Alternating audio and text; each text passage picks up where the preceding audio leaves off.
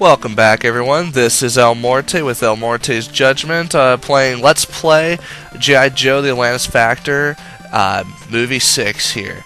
Uh, we left off, I was just finishing up this stage, so let's go ahead and continue. We're just about to actually kick the shit out of Cobra Commander once again. If I can keep from jumping into pools of lava. And punching mines in the eh, if they had a face.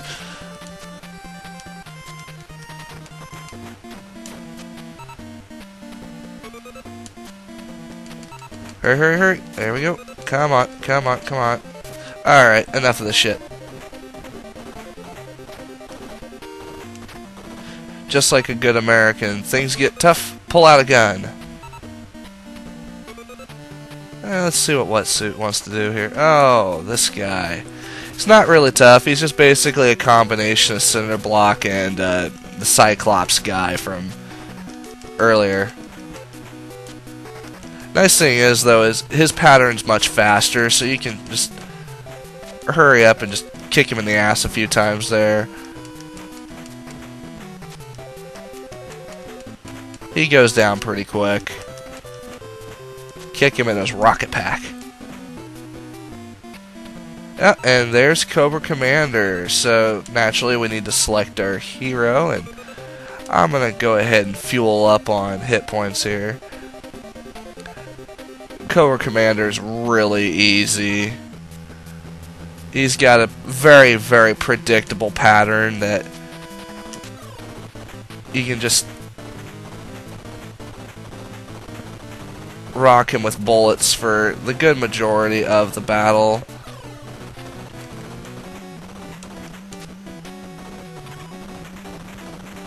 I think once I've even beat him by just doing a roundhouse kicks.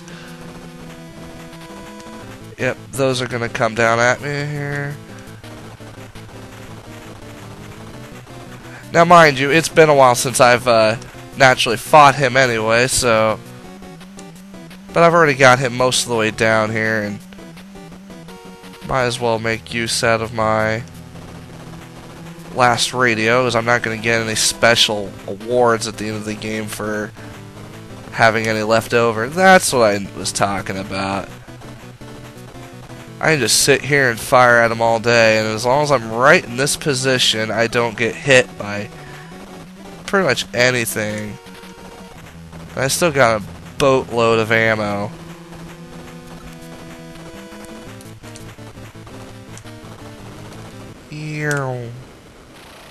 And there we go.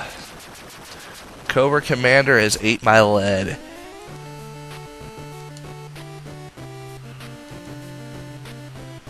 And we get a nice little victory scene where we nuke Atlantis. Who apparently had a thing for snakes too, and that's all it takes to uh, drop it back into the ocean.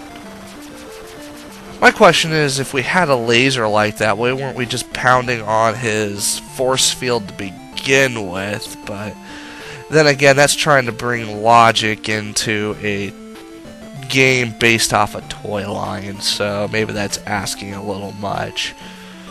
But we are greeted by a good majority of the cast that I didn't bother to go pick up. I, I showed you probably one of the fastest ways that you can uh, play through the game. Now, a speedrunner, they would have they wouldn't have even bothered with trying to level up the characters. They would have just gone flying through the game to get right straight to uh, Cobra Commander. They're also a lot better at this game than I am, so. Well, we get to enjoy uh, this very, very long, long, long victory scene with everybody's names on it.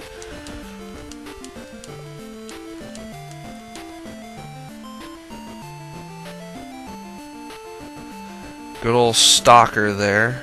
What a name, Stalker.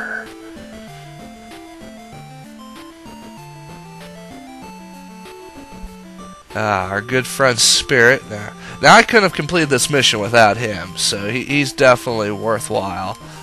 Uh, these other guys I could pretty much care less. Uh, Gung Ho, I really didn't need extra use, so I had about another 200 some rounds of ammo, so he's about as pretty useless unless you run around doing nothing with guns. Uh, now, Big Bear here, he's actually really useful if you die a lot. He'll bring back one of your characters now. Uh, to be continued, but it never actually happened. And so much for my high score. It kicks you right back to the beginning of the game. As you can tell, this is a pretty simple game, a lot of fun to play.